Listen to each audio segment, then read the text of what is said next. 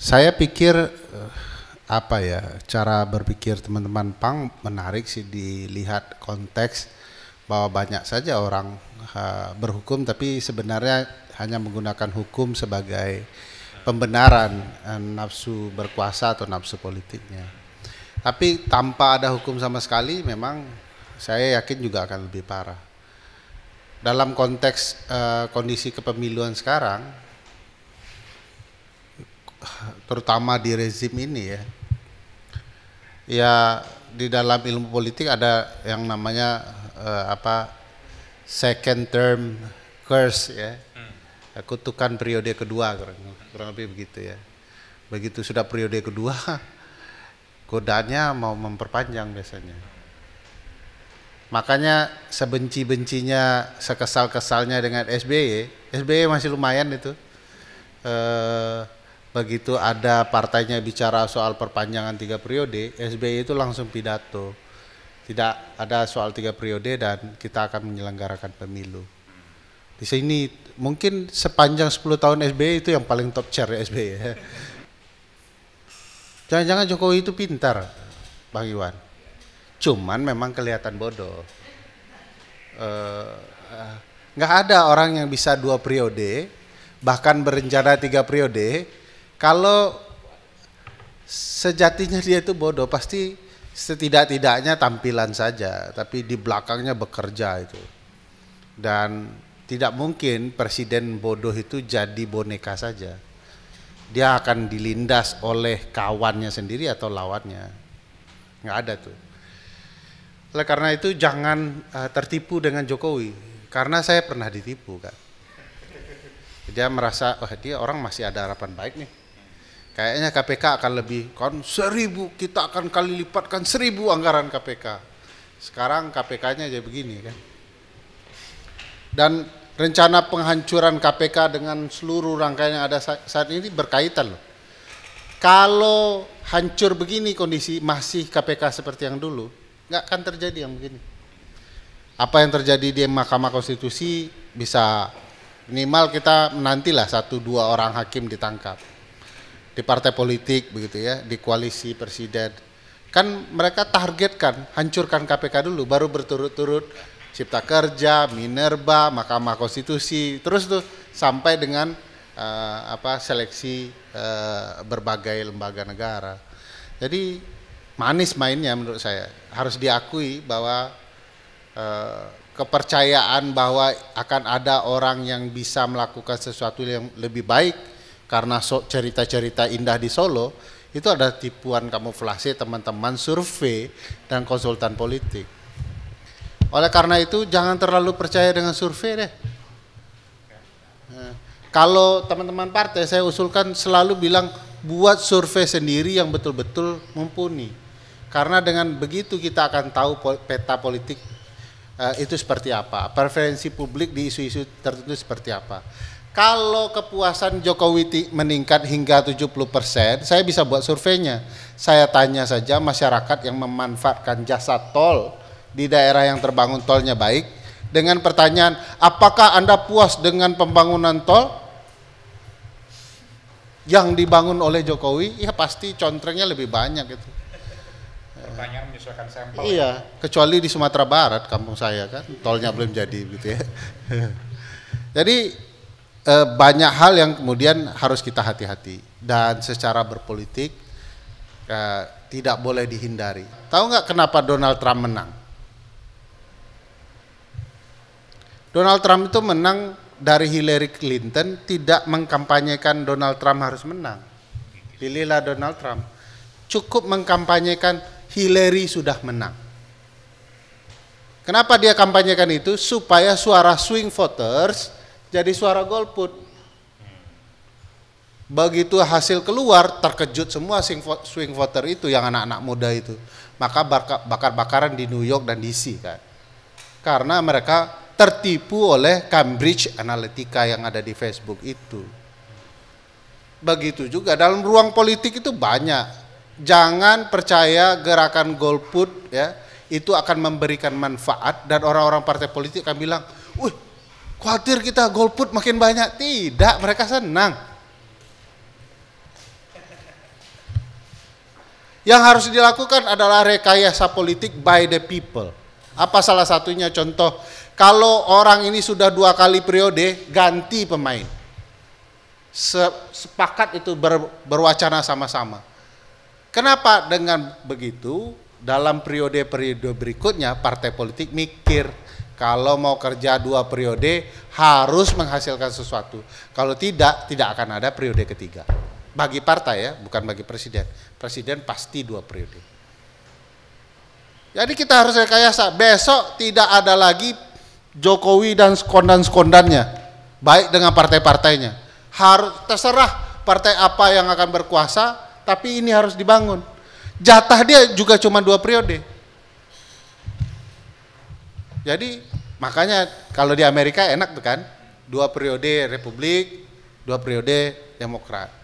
Mereka membangun rekayasa. Satu waktu tiga periode Demokrat. Kenapa? Janji dipenuhi.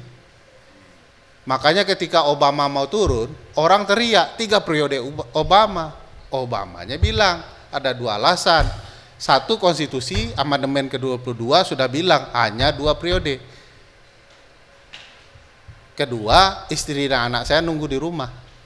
Sementara di negara anta berantah, istri dan anaknya berharap tiga periode. Sebab dengan begitu bisa jadi wali kota dan gubernur. Kalau tidak ada bapaknya di negeri anta berantah jadi presiden, pasti tidak akan bisa jadi wali kota. Sebab mana ada orang baru masuk partai politik, tersingkir para senior di partai politik itu, langsung jadi calon, langsung terpilih. Lawan yang dibuat rekayasa. Karena malu kan kalau menang dengan kotak kosong.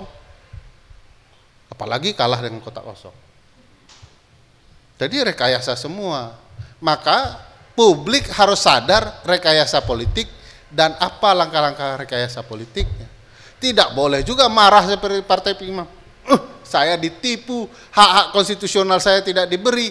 Harus ada grand strategi bagi partai Prima itu sendiri. Jangan percaya Profesor Gayus Lumbun.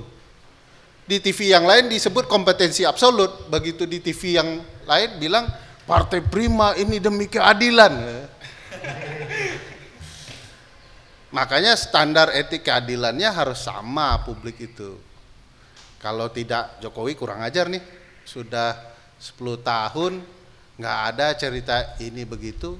Kita rusak sebesar-besarnya kesuksesan mereka dengan gagal di berikutnya. Nah, saya terbayang itu karena dulu di negeri antah berantah anaknya mau maju menjadi calon wali kota, tiba-tiba ada yang menginvestasikan dari Cayman Island dana sebesar 60 65 miliar 60 60 63 miliar 60 60-an miliar begitu ya untuk investasi bisnis anak presiden antah berantah gula-gula uh, es cendol es serut es serut no saya kalau punya kesempatan uang banyak, insya Allah ya doakan, saya tidak akan investasi di bisnis yang tidak jelas 60 miliar. Paling satu miliar. Dan sekarang lihatlah gerai gula-gula itu. Di mana yang ditemukan? Tidak ada. Karena itu menjelang proses pemilihan wali kota anak presiden anta berantah di daerah anta berantah. Ini untuk mencegah supaya tidak ada Haris dan Fatia kedua ya. Jadi bagi saya kita tahu itu dan harus kemudian terus berupaya menyampaikan informasi ke publik dan bangunan rekayasa itu disadarkan. Tadi mari hari ini untuk periode kalau mau tidak mau panjang-panjang ya 2024 ini kita pastikan pemilu ada, kita rekayasa politik harus ganti. Walaupun mungkin presiden berikutnya tidak dipuaskan. Nah soal IKN itu bullshit itu.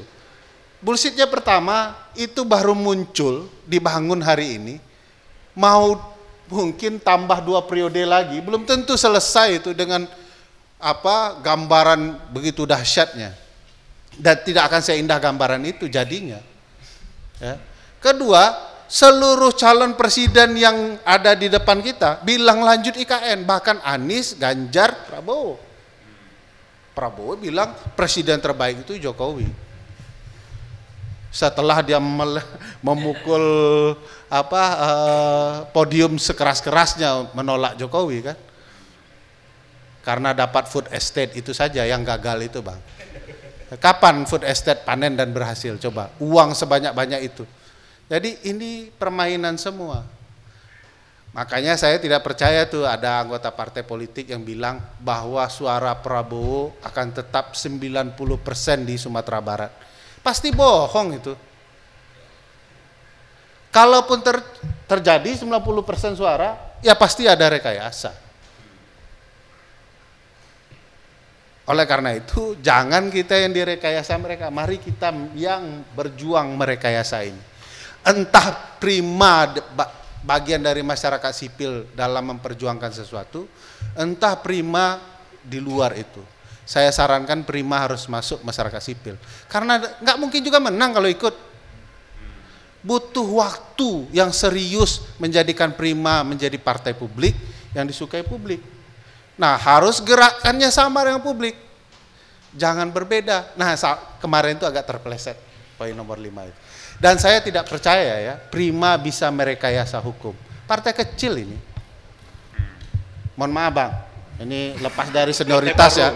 Partai baru. Saya mau rasionalisasikan. Beliau bilang, eh ya betul, partai baru tidak akan mungkin jadi besar. Secepat membalikkan telapak tangan. Tidak akan mungkin. Ini logis saja, butuh waktu beberapa periode untuk melakukan itu. Dan tidak mungkin juga Partai Prima bisa merekayasa putusan. Wong kalah di Bawaslu, menang pun di Bawaslu dianggap kalah, lalu kemudian kalah di Petun. Kalau mereka mampu merekayasa kekuatan untuk ikut pemilu dari kemarin tuh. Saya yakin ya ada yang berenang di kolam yang sama dengan Partai Prima. Saya yakin, entah itu melibatkan Prima langsung, entah Prima tidak tahu untuk memanfaatkan ini. Maka hasilnya poin nomor lima. Saya akan terlibat bersama Prima berjuang soal kecurangan di Petun. Saya tahu tidak ada cerita soal poin nomor lima ini. Tiba-tiba entah siapa yang berbisik, entah ahli dari mana, ini nomor lima penting nih. Ya. Ya. Walaupun saya bisa sadarkan, ini high call ya, medium call. Harapan prima kan kalau tidak high call, medium call, low callnya dapat gitu kan ya dari penghentian itu. Soal dua tahun empat bulan tujuh hari itu ada hitung-hitungannya memang yang agak mirip ya. Walaupun saya tetap bingung kok dua tahun empat bulan tujuh hari gitu ya. Padahal kalau terjadi perubahan ya perdamaian kah, mediasi namanya, itu tetap akan bisa masuk di tengah jalan. Jadi tidak perlu dihentikan semua itu barang. E, contoh PBB, PKPI gitu ya. Dan masihlah ini barang masih lama. Jadi wajar saja Prima itu terkejut ya. Harapannya high call supaya dapatnya low call kan. Tiba-tiba high callnya diterima pakai 600 juta lah. Kalau kemudian berhasil ikut peserta pemilu, saya minta 10% saja itu. ya. Menang besar itu. Menang. nah, karena dikabulkan kan? Dikabulkan. Serta merta lagi. Kita minta eksekusi itu dulu. Oh. nah, menurut saya ini memang harus ada. Kalaupun ini dianggap hal yang mengejutkan, harus ada jalan berbelok untuk bagi situasi bagi Prima kita bagi publik harus lakukan sesuatu. Kalau saya sederhana, saya tidak ingin berupaya mendorong teman-teman mendukung siapa pun, tapi sesederhana itulah cara berpikir publik masyarakat di negara-negara maju yang bisa mengendalikan partai politiknya. Di Amerika itu nggak ada halangan jadi presiden, uh, bang. Boleh nulis itu, ada di negara bagian tertentu kosong gitu ya. Bisa di bagian akhirnya ditulis Ferry Amsari yang pasti tidak akan menang bang tapi hak diberikan apalagi partai besok pagi saya bisa mendirikan partai di Amerika dan bisa langsung ikut pemilu. Tapi pasti tidak menang. Karena ada dua partai giants ya yang tidak akan mungkin dikalahkan. Tetapi hak diberikan.